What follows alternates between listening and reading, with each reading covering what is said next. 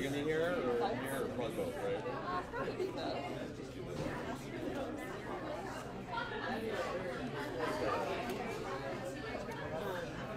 So this is a tune that I wrote. It's called Shoulda Coulda. It's about running off to join the circus, or not running off to join the circus. Um, yeah, those first two chords really.